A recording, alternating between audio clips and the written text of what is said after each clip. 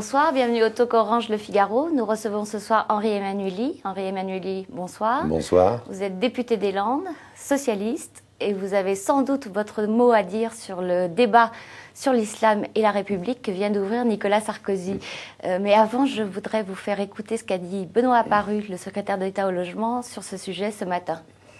On ne peut pas dénoncer l'islam des caves, l'islam des rues, et ne pas en tirer les conséquences. Nous, ce qu'on doit faire, c'est apporter des réponses. Et les réponses, c'est notamment la construction de lieux de culte. Il faut faciliter la construction de mosquées dans notre pays, quitte, s'il le faut, à ce que l'État y Avec de l'argent public S'il le faut, même si c'est contraire à la loi 1905, il faudra faire une un aménagement. Vous êtes affligé Je suis affligé parce que, franchement, je, je pensais que M. Sarkozy euh, avait compris avec, euh, avec le débat sur euh, l'identité nationale que les Français n'en voulaient pas. quoi. Et je pensais qu'après cet échec, il récidiverait pas. Bon, là, il récidive sous une forme un peu différente. C'est plus euh, l'identité nationale, c'est l'islam. Et il ne se rend pas compte, il n'a toujours pas compris qu'avec ce genre d'initiative, il travaille pour Madame Marine Le Pen. Il est en train de fabriquer des voix pour Madame Le Pen, alors qu'il pense lui en voler. Et là, il, y a, un vrai problème. Il faudrait qu'il prenne le temps d'une pause, de réfléchir, de bien regarder ce sujet, et à mon avis, il éviterait ce genre d'idiotie. Vous, vous êtes pour la préservation de la loi de 1905 Moi, en je suis pour la préservation de la loi de 1905. Vous savez, tous ces amoureux de la laïcité, tout d'un coup, qui découvrent la laïcité, notamment chez les pratiquants d'autres religions, je n'en citerai aucune, tout ça parce que ça leur permet de mettre l'islam à l'index, c'est un peu gros, quoi. Alors c'est vrai qu'il y a que un ça pro- peut pas faire du bien à tout le monde? C'est vrai qu'il y a un problème, que c'est devenu la deuxième ou la troisième religion de France.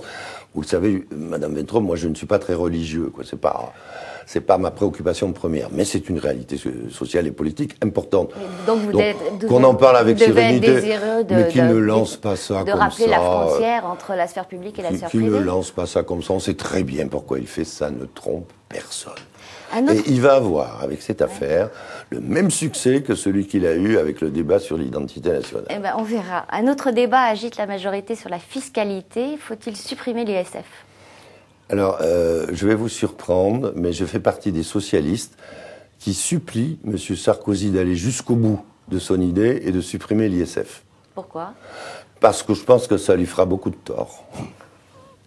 Le rapport Bon, ça a un annuel. peu surpris mes collègues hier de Oui. l'UMP à la commission des finances. Mais quand vous expliquez, on moi, comprend. je vous supplie d'aller jusqu'au bout. Le, le rapport euh, annuel de la Cour des comptes euh, a été présenté tout à l'heure. Euh, il dit que les, les déficits sont toujours trop importants, que les allègements fiscaux ont contribué à les aggraver. Donc, euh, il préconise, euh, à défaut d'augmenter les, les prélèvements obligatoires, de geler pendant trois ans le salaire des fonctionnaires. Que pensez-vous de cette idée? Je pense que la Cour des comptes a fait remarquer d'abord qu'effectivement, on avait supprimé beaucoup de recettes, qu'on avait 75 milliards d'euros de niches fiscales, qui sont euh, non pas en réserve pour la totalité, parce qu'il y a- des niches qu'on ne peut pas supprimer, mais ne serait-ce que la moitié, vous voyez que ça fait quand même plus, ça fait 35 milliards d'euros. Et, et, et qu'est-ce que dit la Cour des comptes aujourd'hui? C'est une forme de provocation. Elle dit ou bien vous créez des ressources nouvelles, les impôts, ou bien vous gelez le salaire des fonctionnaires. Geler le salaire des fonctionnaires, et comme on n'est pas en Grèce ni au Portugal, ça ferait du bruit. Et puis en plus, j'ai envie de dire, les je ne aussi, résiste pas. Ça va faire tellement de peine aux ministres qui se sont augmentés. euh, Et augmenter les impôts, ça fera pas de bruit? Ça dépend de qui. Bien, bien sûr que ça n'est jamais bien vécu d'augmenter les impôts. Personne, y compris moi, n'aime payer des impôts pour le plaisir de payer des impôts. Si le candidat socialiste, quel qu'il soit, est élu euh, à la prochaine présidentielle, il devra le faire? Si le, le prochain euh, candidat socialiste devra trouver des ressources nouvelles pour redresser ce pays qui court à l'abîme. Est-ce Bon, Et il devra le faudra donc les impôts? des ressources nouvelles.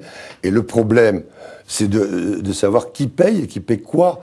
Jusqu'à maintenant, on a privilégié les plus riches pour taper les classes moyennes. Nous, on serait plutôt dans l'optique inverse. Enlever quelques privilèges aux plus, euh, aux plus aisés, je préfère dire ça que les plus riches, et puis euh, ne pas s'en prendre aux classes moyennes. Parce que dire on va augmenter les impôts, ça ne veut rien dire. Ça dépend qui paye. Je vous signale que les sociétés du 440, en moyenne, payent 8% de, pour l'impôt sur les sociétés, alors que le taux est à 30. par- hein. oui. Bon, alors voilà. euh, on s'est vite dit tout ça. Ça mérite un peu plus de finesse. Dominique Strauss-Kahn est à Paris pour la rencontre des ministres des Finances du G20. Si vous le rencontriez, qu'est-ce que vous lui diriez? Moi, je lui dirais que je, je trouve normal. Moi, moi j'ai plutôt de la sympathie pour Dominique Strauss-Kahn à titre Pour, personnel. pour l'homme ou pour le Pour politique? Pour l'homme. Je lui dirais que je comprends. euh, S'il a envie de prendre des responsabilités, je le comprends. Mais que je pense que le meilleur service qu'il puisse rendre à la France, à la gauche, à la France et peut-être à l'Europe, c'est soit de rester au Fonds monétaire international pour un deuxième mandat, parce qu'on on aura besoin de lui, parce que ça va être dur de redresser la France. Euh, je fais une parenthèse, M. Sarkozy nous dit sans arrêt, il faut imiter l'Allemagne. Sauf que l'Allemagne, 30% de son PIB, c'est l'industrie. Nous, c'est 13. Il faut absolument redresser ça. Et pour redresser ça, il faut faire un effort monumental. On aura besoin de Dominique Strauss-Kahn. Si le FMI ne lui convient pas, moi, je constate qu'on a du mal à trouver un successeur à M. Trichet. Moi, je verrais bien Dominique Strauss-Kahn, président de la Banque Centrale Européenne, où il pourrait être précieux pour nous aider à régler les problèmes de dette souveraine et celle de l'euro. Il, il entendra sûrement le message. Ben, J'espère. Jean-Marc et, et qu'il le prendra en bonne part. Jean-Marc Ayrault a souhaité ce matin que Dominique Strauss-Kahn donne des signes. Il va s'exprimer euh, notamment à la télévision dimanche soir. Est-ce que vous le souhaitez aussi? Eh ben, moi, je viens de vous expliquer ce que je Est-ce souhaitais. que, est-ce que vous voulez qu'il Si- dise? Si- S'il que- pouvait donner des signes dans ce sens- sens-là, je serais ravi. Est-ce qu'il y a un problème de timing?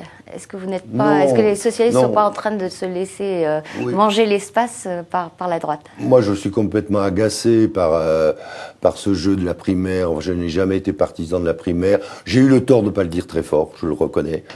Mais parce que ça annule tout ce qu'on fait par ailleurs. On fait des conventions, on fait des propositions sur le plan fiscal, on fait des propositions sur le plan institutionnel.